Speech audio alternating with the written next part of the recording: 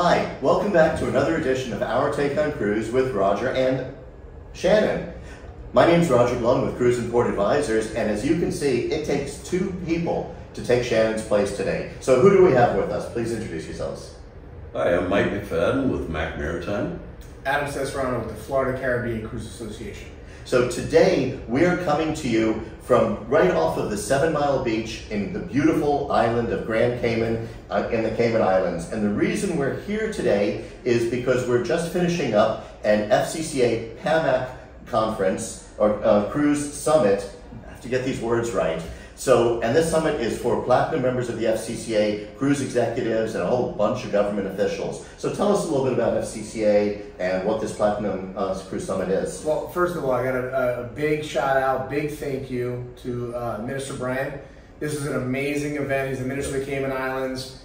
They were, it was epic. It was just for platinum members uh, and cruise executives. Uh, the, the platinum membership program has been going for over 22 years or 25 years longer than even I've been there. Um, and it's built up such a momentum in the industry that it's become a, a gem that we all kind of cherish. It's invite only. It's the, the best of the best in the industry that uh, come to these events. And it's so important for all of us to get together. It's about collaboration, communication, and working together. And Cayman Islands have been an amazing host. I'll, I'll second that. They've been it's been just phenomenal here. You know, you kind of forget how wonderful the people are here, and they put on a great conference. And as far as the platinum membership, Mike, you've been a platinum member for a long time. Yeah, I'm uh, showing my age here. I think I'm one of the first, going back to the mid '90s through the West Indian Company and carrying it through ever since. Wow! And so that's been you know really amazing for me, and it really you know reinforces today during the the general session uh, if I had to, you know, pick a word to describe it, it would either be confidence or optimism or both. Everybody was upbeat, you know, it's charged forward, and I think that's typified by the cruise ship order book. You look at that tremendous investment into the future, and yeah, it really says it all. And that's what we take back to our clients as consultants and organizers of these different, um, you know, associations and memberships and everything and that helps our clients justify their future investments. It was certainly uh, incredibly optimistic, but not just optimistic, they were putting numbers behind it. Mm-hmm. So um, I know Michele, who some people may have heard of Michele Paige. Um, she's, she's a very modest person, um, but she gave us some really interesting statistics this morning. Yeah, so Michele was going back in the, in the history of, of what the FCCA is encompassed to, through our association.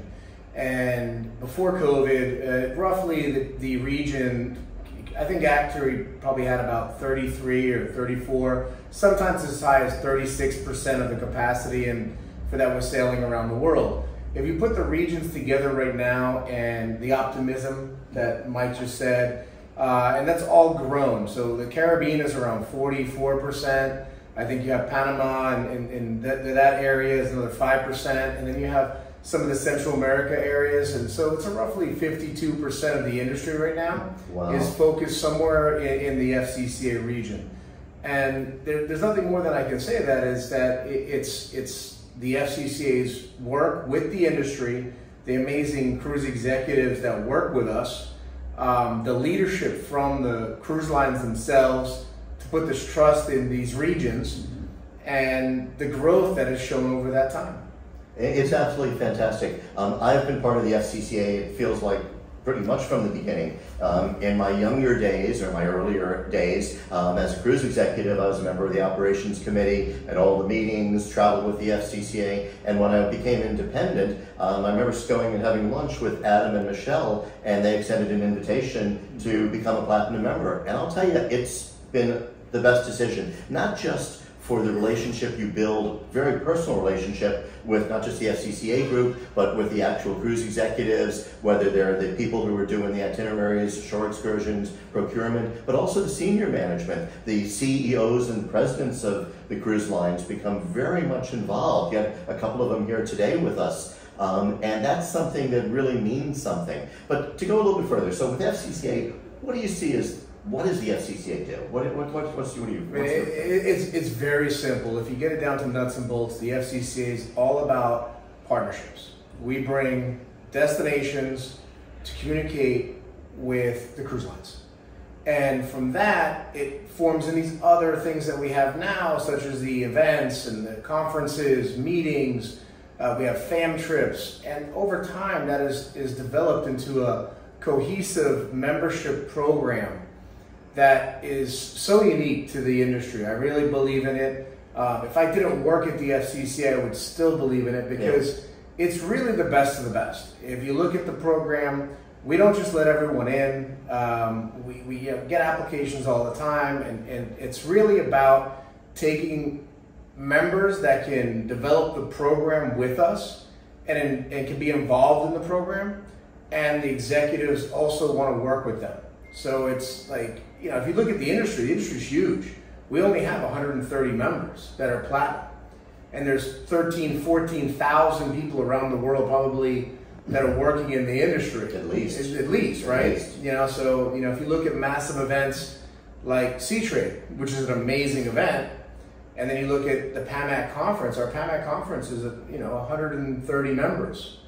Um, but all of those members add value to the program. And we all get to know each other very well. But even coming to a conference like this, um, for me today um, at my meetings, in two of my meetings for one of my clients, uh, Martinique, I came away with a whole bunch of additional calls. Yeah. So it's real business that happens, but there's also fun that happens. Today, um, I'm not sure if we're going to post a picture. We were all in the water at Stingray City playing with the Stingrays, including Michele, and it was cool. Yeah, yeah. So we, you know, part of the event and what you know, Michele's always been the leader of this. Uh, in fact, she was the first one in the water today. Uh, so, so you know, it, part of this is experiencing the destination. Everywhere we have these PAMAC events, it's about experiencing the, the destination, uh, enjoying it, learning it, and then taking that knowledge back and then bringing it back to other destinations so we can all learn from each other. And I think that's what everybody does. So as people may remember, we're coming out of a pause in the industry and a really tough time. The FCCA put together um, what was called the America's Cruise Task Force, mm. which really opened up communication, which is the most important thing between the cruise lines and destinations, within the destinations themselves, within the cruise lines, that turned out to be a really important part of the restart of cruising. And that communication is still lasting. But you've got other, I know we're talking a little bit longer, sorry, I hope you guys hang in there. But you've got a couple other initiatives you guys are working on. Yeah, so from, from that task force, which was led up by Michael Bayley, who was a great leader, um, really kind of showed the FCC the, the direction to go during that time. He, he brought forth, like, hey, okay, so we have this great task force. What can we do with the next? The next one was purchasing, the other part was employment. So we're on those initiatives now, and we're going to keep them going and growing them with the destinations and our partners and our platinum members. Well, I'll say one thing: the team, the FCCA's team, is incredible. They always make sure that people are first, and this is a people business we're in. It's an absolute people business we're in. So even even here, it's a people business. That's Jessica from the FCCA. It, it's a people business. Yeah. So congratulations um, on a great summit. And congratulations on all the work that the FCCA is doing. It's a pleasure for me to be a member, and I, for those of you who are not um, called, you know, maybe not platinum because that's not as easy to become a platinum member, but the events you do and everything else, it's a great association. Really so thank you, yeah, thank you to the team, um, thank you to our human easel, and thanks for joining us. Bye everyone. Bye, everyone.